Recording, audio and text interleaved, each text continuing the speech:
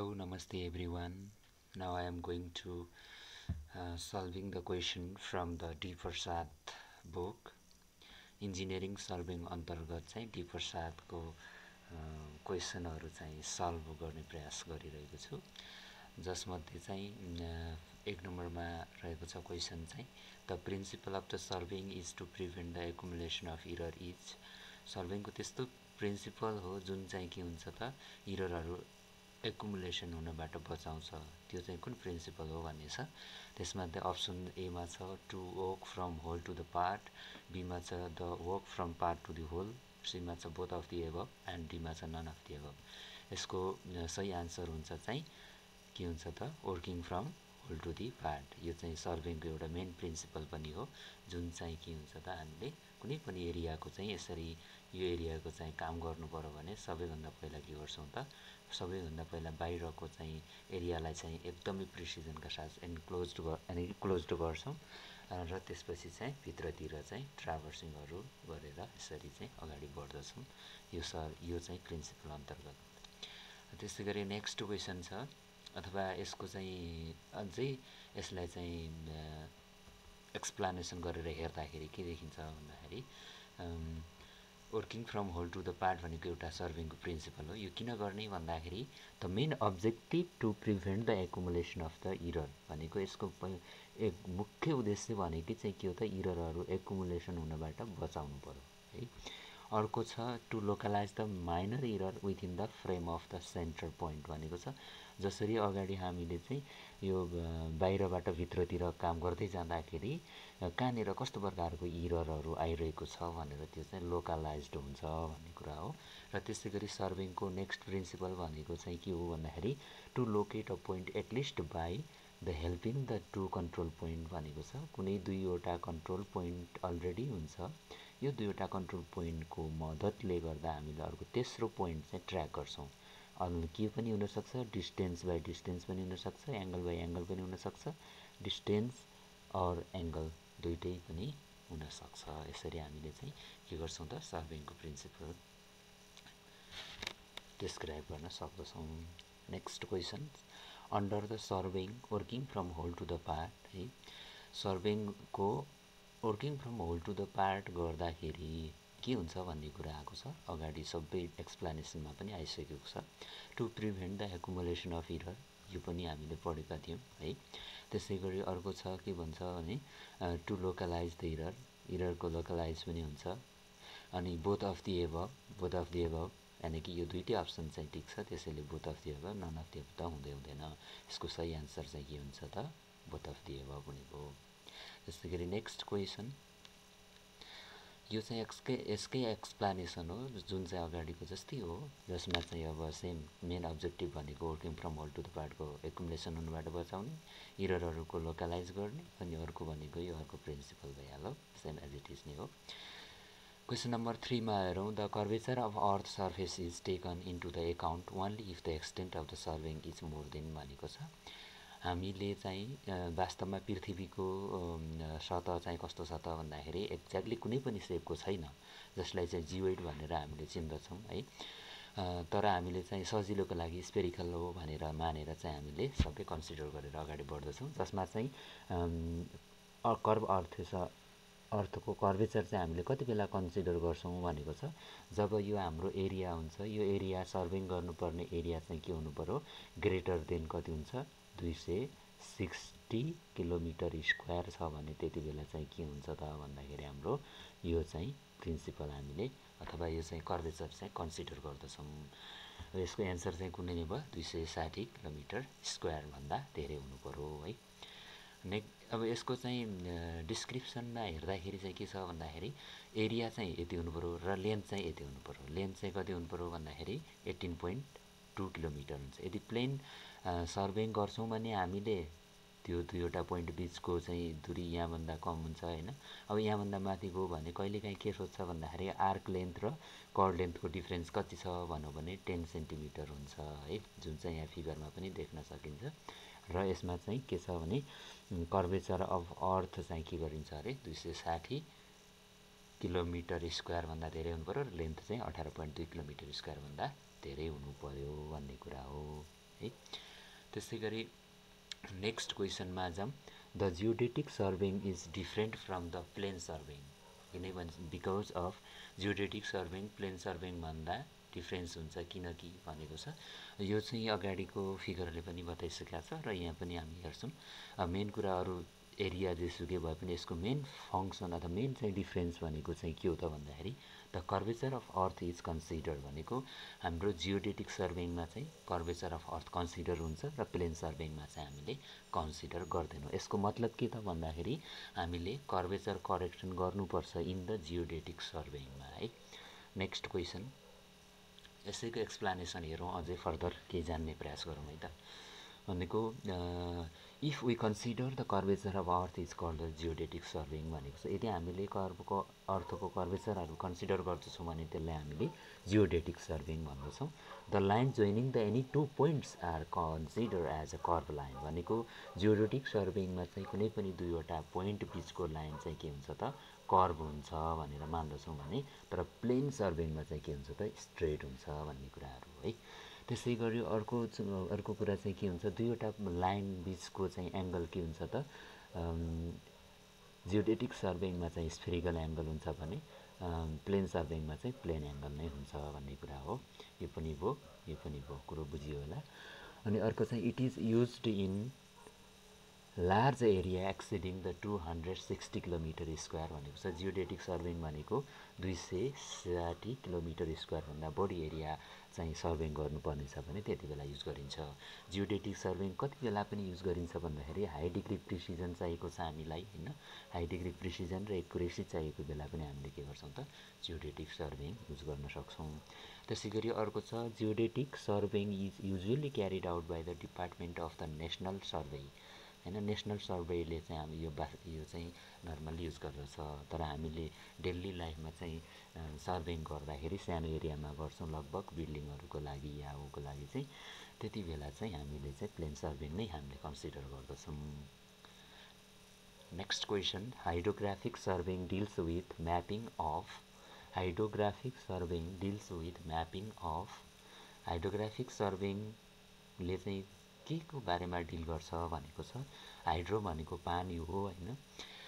Hydrographic serving भन्ने बित्तिकै पानीसँग रिलेटेड हो भन्ने कुरा आयो। यसमा चाहिँ यो अप्सनहरूमा हेर्दाखेरि सबैभन्दा बेस्ट एन्सर भनेको चाहिँ के हो त? लार्ज वाटर बडिजको बारेमा चाहिँ डिल गर्दछ है? हाइड्रोग्राफिक सर्भिङले चाहिँ। अब यसमा चाहिँ यसको बारेमा अलिकति केही इलाबरेट गरौँ। Hydrographic surveying deals with the large water bodies है यो चाहिँ लार्ज वाटर बडिजहरूको बारेमा चाहिँ डिल गर्छ यसले। फर पर्पज अफ नेभिगेसन होइन नेभिगेसन पर्पजमा नेभिगेसन भनेको पानी जहाज लिन मिल्छ कि मिल्दैन या हो होइन हार्बर ओ कन्स्ट्रक्सन भनेको समुद्री तटहरूमा अथवा पानीको वरिपरि हुने स्ट्रक्चरहरूमा चाहिँ हामीले काम गर्नुपर्ने छ भने त्यति बेला पनि हाइड्रोग्राफिक सर्भिङ हामीले गर्नुपर्ने हुन्छ। र अर्को prediction of the tides and determination of the mean sea level यति गर्नुको लागि चाहिँ हामीले हाइड्रोग्राफिक सर्भे प्रयोग गर्ने गर्दछौँ। Next question the survey which is carried out for determining the absolute location and the direction of any line on the surface of the earth by making the observation of heavenly bodies अब heavenly bodies भनेको यो चाहिँ के हो त भन्दाखेरि पृथ्वी वा पृथ्वीभन्दा धेरै ठुला आकाशीय पिण्डहरूको चाहिँ त्यहाँको डिरेक्सनहरू लोकेसनहरू होइन? त्यसमा चाहिँ कतातिर छ भन्ने कुराहरू यो आदि इत्यादि पत्ता लगाउनुको लागि कस्तो प्रकारको सर्भिङ गर्ने हो भनेर चाहिँ क्वेसनले भनेको छ। यसको लागि चाहिँ हामीले एस्ट्रोनोमिकल सर्भिङ गर्दछौँ जसले चाहिँ के गर्छ भन्दाखेरि ब्रह्माण्डमा भएका पिण्डहरूको बारेमा चाहिँ डिल गर्छ अथवा त्यो प्रकारको सर्भिङ गर्नु पऱ्यो भने हामीले एस्ट्रोनोमिकल सर्भिङ युज गर्दछौँ। हाइड्रोग्राफिक सर्भिङ ल्यान्ड सर्भिङ पनि हामीले के के के हो त यो भन्ने कुराहरू पनि हेरौँ है त। यसमा चाहिँ अब सबैभन्दा hydrographic surveying deals with large water bodies भइहाल्यो। त्यसपछि astronomical सर्भिङमा deals with the heavenly bodies in the universe युनिभर्समा भएको ठुला ठुला मासहरूको बारेमा डिल गर्छ। ल्यान्ड सर्भिङले के गर्छ त ल्यान्ड सर ल्यान्ड सर्भिङभित्र पनि कति पर्छ? टोपोग्राफिक सर्भिङ क्याडिस्टल सर्भिङ र सिटी सर्भिङ पर्दछ। टोपोग्राफिक सर्भिङले चाहिँ के देखाउँछ भन्दाखेरि अथवा के हामीले चाहिँ त्यहाँ स्टडी गर्छौँ भन्दाखेरि नेचुरल फिचरहरू होइन जस्तो river valley forest mountain mountain इटिसीको बारेमा चाहिँ हामीले टोपोग्राफिक चाहिँ म्यापमा पाउँछौँ अथवा यो सर्भिङ गरेर त्यो कुराहरू चाहिँ निकाल्छौँ भने क्याडिस्टल सर्भिङ बााउन्ड्रिजहरू छुट्याउनु पऱ्यो नेसनको होस् अथवा कुनै पनि जग्गाको होइन त्यो प्रोपर्टी लाइनहरू छुट्याउनु पऱ्यो भने क्याडिस्टल सर्भिङ गर्ने हो। त्यसपछि सिटी सर्भिङ भनेको चाहिँ के हो त? रोडहरूको बारेमा पार्कहरूको बारेमा होइन वाटर सप्लाई सिटी वाटर सप्लाईको बारेमा अनि सिवरहरूको बारेमा आदि इत्यादिहरू चाहिँ कामहरू गर्नु पऱ्यो भने हामीले सिटी सर्भिङ गर्ने गर्दछौँ। त्यसै गरी नेक्स्ट क्वेसन जाउँ seven number क्वेसनमा the scale either representing three units or only one unit and its fraction up to the second place of the decimal अब यसले के भनेको भन्दाखेरि त्यस्तो प्रकारको स्केल जसले चाहिँ तिनवटा सक्सेसिभ युनिटहरू जनाउँछ अथवा चाहिँ पोइन्टभन्दा पछाडि पोइन्टभन्दा पछाडि दुईवटा डेसिमलहरू चाहिँ के गर्छ अरे त्यतिको बारेमा चाहिँ जनाउँछ भने त्यस्तो स्केललाई के भन्ने भनेको छ? त्यसलाई चाहिँ हामीले के भन्छौँ त? डायगनल स्केल भन्छौँ। तपाईँहरू सबैलाई थाहा छ है। यसको एन्सर यो हुन्छ। अब यसमा चाहिँ के हो त भन्दाखेरि यति गऱ्यो भने यो टुले चाहिँ के के जनाउँछ? मिटर जनाउँछ। यो टुले चाहिँ के जनाउँछ फेरि? यो टुले भनेको चाहिँ के जनाउँछ? डेसिमिटर जनाउँछ भने ग्रेड डेसिमिटर जनाउँछ भने यो थ्रीले चाहिँ सेन्टिमिटर जनाउने भयो क्या। भनेको मिटर डेसिमिटर र सेन्टिमिटर क्रमैसँग यसरी चाहिँ यसले चाहिँ यो रिप्रेजेन्ट गर्छ। अथवा यो तिनवटा युनिट्स पढ्न सक्ने खालको चाहिँ स्केल हो भनेको है। यसमा चाहिँ नर्मल्ली हामी यहाँ हेर्न सक्छौँ। त्यसमा चाहिँ अब यसमा चाहिँ यो स्केलहरू यसरी पनि हामीले हेर्न सक्छौँ है। यो चाहिँ फ्रेक्सन हो तलको यो चाहिँ हाम्रो मिटरमा छ। यो मिटरमा छ यो डेसिमिटर हो भने यताको पार्टहरू सेन्टिमिटर हो। अब यसरी चाहिँ रिडिङ यहाँनिर आयो भने यो टु पोइन्ट फाइभ सिक्स भनेको चाहिँ टु भनेको चाहिँ यहाँसम्म छ होइन। यो टु भनेको यहाँसम्म छ है। अनि फाइभ भनेको कहाँ छ त भन्दाखेरि चाहिँ फाइभ भनेको कहाँ छ? यो चाहिँ जस्तो यहाँनिर फोर हो भने यहाँनिरको यो फाइभ हो। यो फाइभ हो अनि यहाँबाट चाहिँ सिक्स यानि कि फाइभ सिक्स भनेको यो सिक्स नम्बरको सेन्टिमिटर हो अथवा डायगोनल स्केल भनेको थ्री सक्सेसिभ युनिटहरू लाइक के हो त?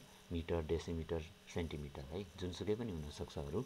Unit represent up to the two decimal point like two point five six भनेको छ सम्भवतः। आई होप यो के यो बुझ्नुभयो होला भन्ने कुराहरू। यसमा चाहिँ यो डायगोनल स्केल भन्छ यसलाई चाहिँ है?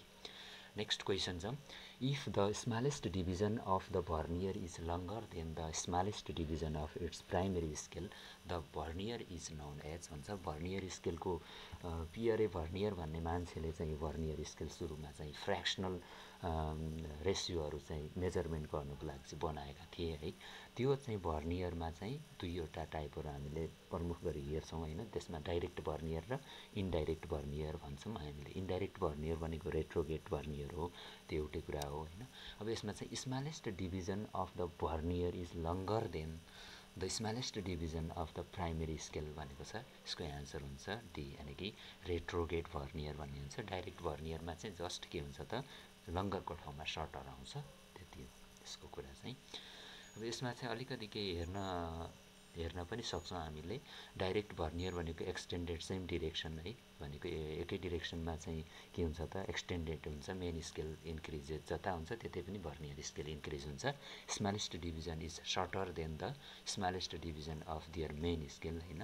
डाइरेक्ट भर्नरमा सर्टर हुन्छ भनेको के त भन्दाखेरि भर्नियर स्केलमा यानि कि smallest division is shorter than the smallest division of their main scale. Vernier स्केलमा भएको सर्टर डिभिजन चाहिँ मेन स्केलमा भएको सर्टर डिभिजनभन्दा अझै के हुन्छ त सानो हुन्छ भनेको रेट्रोगेट भर्नियर भनेको चाहिँ के हो त भन्दाखेरि extended opposite direction of the their main scale भनेको चाहिँ मेन स्केल यता बढ्दै गइरहेछ भने भर्नियर स्केल यता बढ्दै जान्छ भन्न खोजेको है।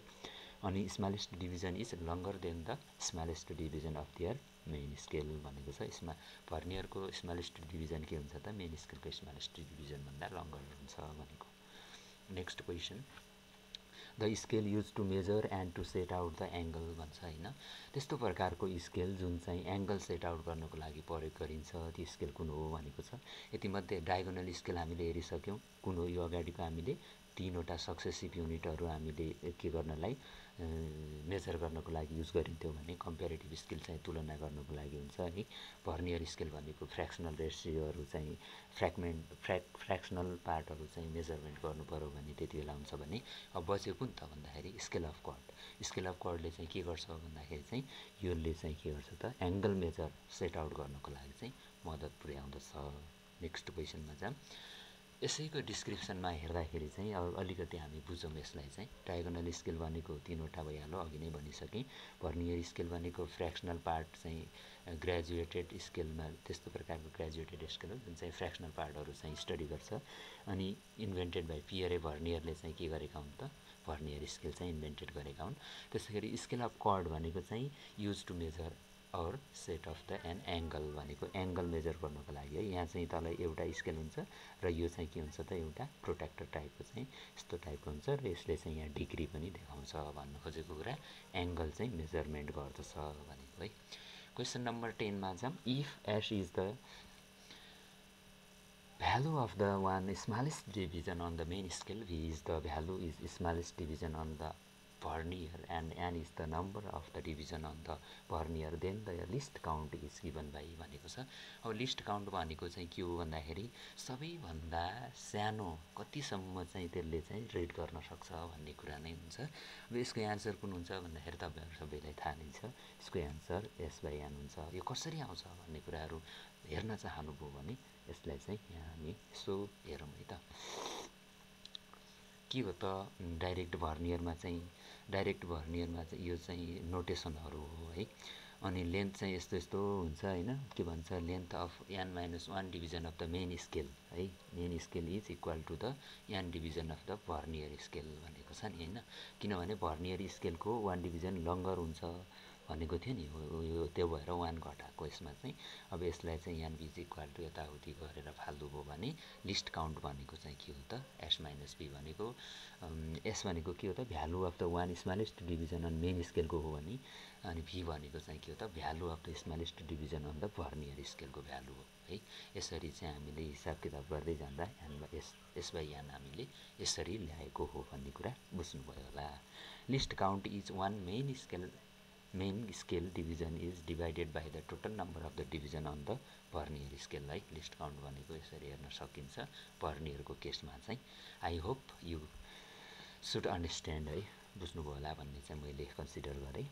र सर्भिङ इन्जिनियरिङ सर्भिङको दसवटा क्वेसनको सेसन चाहिँ म यहीँ समाप्त गर्दछु। यदि तपाईँलाई मन परेछ भने कमेन्ट गर्नुहोला सब्सक्राइब गर्नुहोला है। अझै यस्तै क्वेसनहरू चाहिँ अगाडि बढाउँदै जानेछु भन्ने आशा राख्दै आजको सेसनलाई चाहिँ यहीँ अन्त्य गर्छु। धन्यवाद।